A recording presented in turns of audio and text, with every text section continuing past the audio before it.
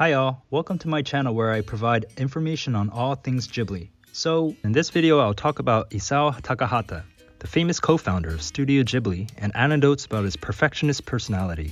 Compared to his partner and co-founder Hayao Miyazaki, his complete works may not be as celebrated and get as much splash, but I consider Mr. Takahata's films to be powerful and extremely sensitive to the human condition. Behind the scenes, the acclaimed director is said to be meticulous in his craft and painstaking in his direction to his animators. Toshio Suzuki provides many first-person accounts about this.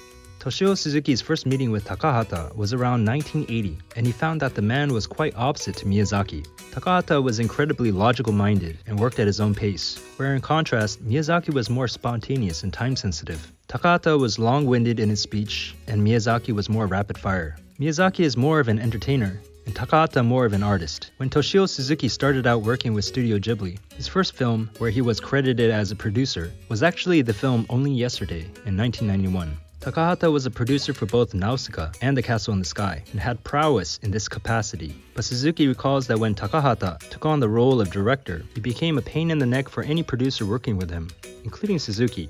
When Takahata first started working for a living, he found lyrics of songs sung from an NHK puppet show called Hyokori Hyotanjima, or Pop-Up Gourd Island, in a magazine. He was intrigued by them, and when planning for Only Yesterday started, he asked Suzuki more information about them. Suzuki called an acquaintance at NHK and got videotapes of four episodes. Takahata watched them and found them extremely interesting.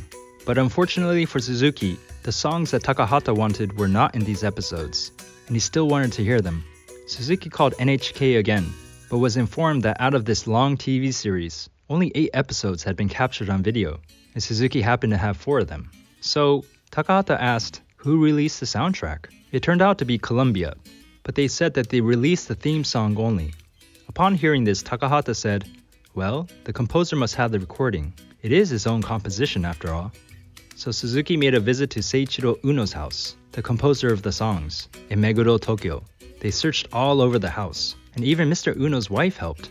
Since Mr. Uno made so many songs and his filing of his own music was not organized, it was impossible to find it, and their search went in vain. But Takahata refused to give up. I want to hear those songs, he would say. So as Suzuki was in a bind, he ran into a type of rabbit fan that enjoys looking for these types of things. And that person sent out an SOS signal of sorts throughout the country to other rabbit fans. Five days later, the recording was miraculously found. The person who had the recording was from Hokkaido. He sent the tape to Suzuki, and the songs were indeed there. But it was odd. NHK didn't have copies, Columbia didn't have copies, and neither did the composer.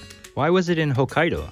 It turned out that a decade back, a local radio station was playing the two songs, and he happened to record it. Asking why the songs happened to be available for radio when no one else had it, the fanatical friend responded with an answer. A young lady named Chinatsu Nakayama, who voice dubbed for one of the characters in the series, sang these songs. When she recorded her voice and these songs, her mother would tape these sessions. It was these recordings that the Hokkaido radio station acquired. Suzuki brought these back to the director. Takahata was overjoyed, having good knowledge of music. He was, after all, the musical director for Kiki's Delivery, so it all ended there, right? Not really. Not with Takahata. After hearing the song, the director said, By the way, Suzuki's heart sank.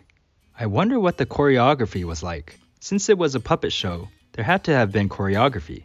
But of course, no one would have footage of that.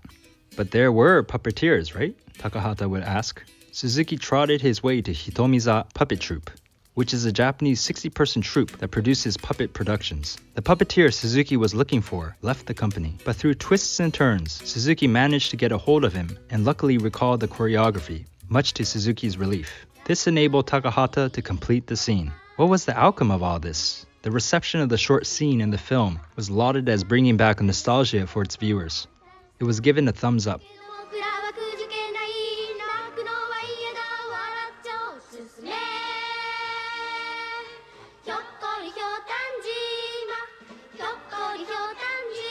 The next anecdote has again to do with the film Only Yesterday and Flowers. Safflowers to be exact. Only Yesterday takes place in Yamagata Prefecture, and the theme is about picking safflowers. Because Takahata is a logical minded person, he wanted to know every detail about the growing, picking, and processing of safflowers, and made a trip to Yamagata for scenario scouting with Suzuki.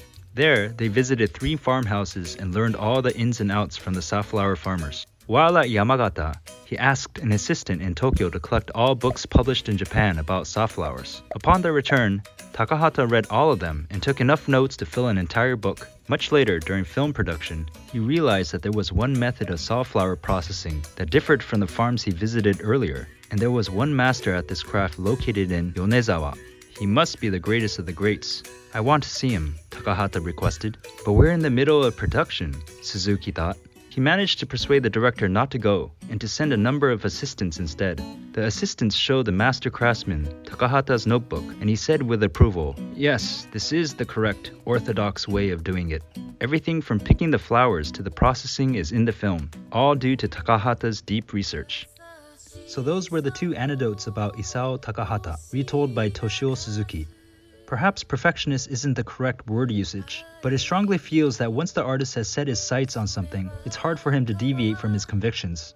I believe we're truly fortunate to have had an artist like Mr. Takahata in our midst while he was alive. There's more stories like this, and I will likely post some more in the future. Thank you all for watching and subscribing. I really appreciate your comments. I'll see you on the next one. Thank you.